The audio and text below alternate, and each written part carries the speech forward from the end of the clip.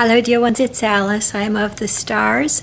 We're in the middle of a solar wind stream right now, and it's been, you know, interesting for the last day or so, and it might continue for a few more days. So um, there's that. And uh, just while all this is going on, I uh, I had a thought about. Um, well, you may know that I don't use alcohol or drugs or anything like that, and I, I attempt to, to have a very pure diet, although I don't quite come up to the standards that, that I have for myself. I'm always trying to do that. And I think this is very, very important for the ascension process uh, to try to purify the diet because so many change ups are happening in our physical and subtle bodies as a result of the incoming light, that it puts undue stress on our physical form when we don't have a pretty good diet going on and exercise and so forth. So, so I recommend that insofar as we're able. And um, just I had a thought the other day uh, and this morning to do with um, non optimal diet and toxins in the blood. I think uh, when there are toxins in the blood, say through constant alcohol use, for instance, um, so so we're using alcohol every day, let's say, and in that case, um, which is very common here in America.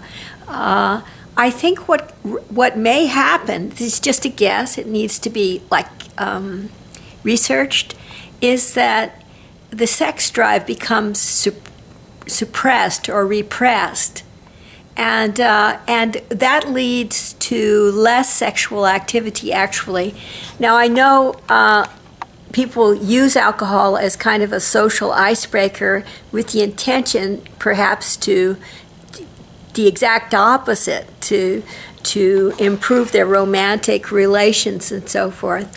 But but my guess is that the actual effect of daily alcohol use is the exact opposite I think that it leads to repression of the sex drive and uh, sexual inactivity.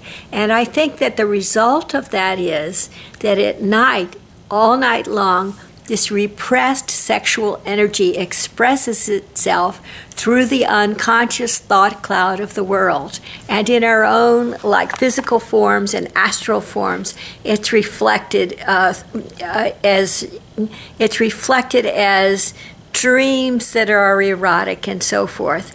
Dreams about about the things that we haven't actually done with our lives that we really wanted to do. That's what I think is it has that effect. And that that is actually the cause of these flare-ups of astral stories that have to do with what they call the V dot dot dot D dot dot, dot syndrome.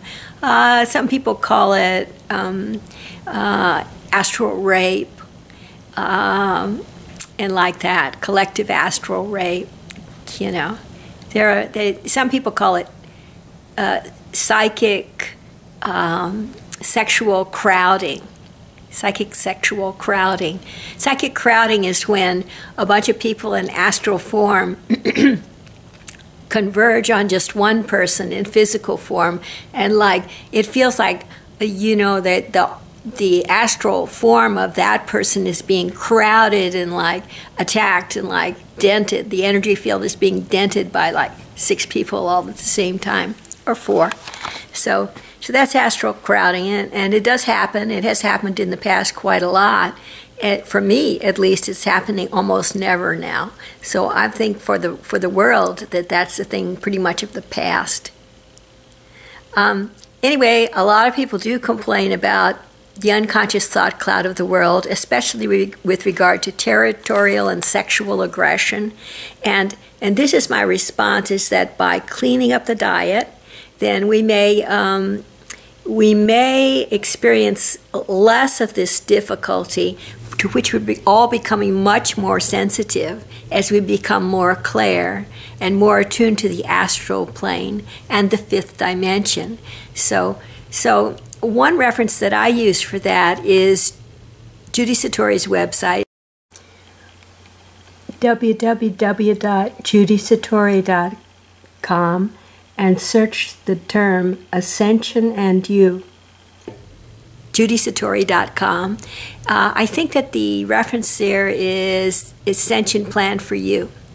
And there it talks about diet and all kinds of things to do to prepare for the ascension, for the what they call the, the second coming, the kingdom of God on earth, and, and what we call new life on new earth. We have the ascension crowd. So um, we don't think about end times, you know, we think about times of new beginning. and so, so there's that and uh, and I hope that helps. That that helps to ease the ascension symptoms, which are many, you know, and and create a sense of faith in the process that's taking place, um, because the end result will be absolutely wonderful for all Earth. All right, you guys, take care. Talk to you later.